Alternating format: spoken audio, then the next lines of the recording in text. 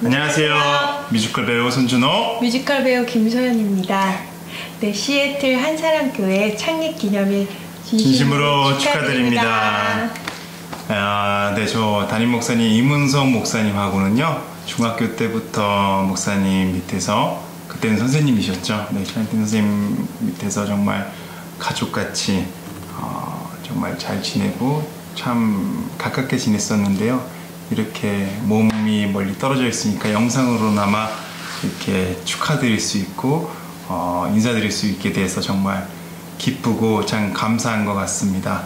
네, 다시 한번 어, 시애틀 한사람교회 창립 기념일 26주년이라고 네, 들었는데요. 너무너무 축하드리고요. 네, 저희도 기회가 되면은 어, 시애틀 한사람교회 어, 찾아가서 어, 찬양하고 함께 기쁨을 나누고 주님의 사랑을 나눌 수 있는 기회가 꼭 왔으면 좋겠습니다. 네, 여러분 요즘 많이 힘드실 텐데요. 항상 건강하시고 어, 서로 서로 정말 행복한 하루하루 그래도 보내셨으면 좋겠다는 생각이 듭니다. 네, 진심으로 축하드립니다.